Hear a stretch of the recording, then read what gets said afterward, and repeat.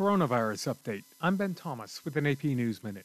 Johns Hopkins University's latest tally shows newly confirmed cases of COVID 19 across the U.S. below 30,000 per day, and the seven day average of deaths has now dropped to 836. But health experts say it's still too early to think we're clear of the pandemic. With the BA2 descendant of the Omicron variant now circulating, they're watching out for a new surge and wondering how long it will take to detect. Some say recent changes in testing for the virus and a decision by federal officials to reduce the number of labs hunting for variants could hamper efforts. Ohio State professor Ji Young Lee says wastewater monitoring can be useful. It captures community level or building level or neighborhood level virus trend. However, wastewater surveillance remains patchy, and experts say it cannot be counted on to fully gauge coming surges. Health officials are increasingly focusing on hospital admissions, but those rise only after a surge has arrived. I'm Ben Thomas.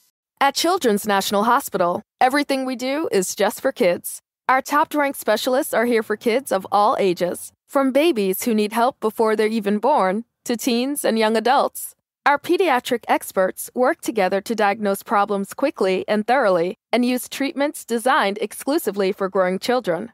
With convenient locations all across the DC metro area, find a specialist today at childrensnational.org/stronger.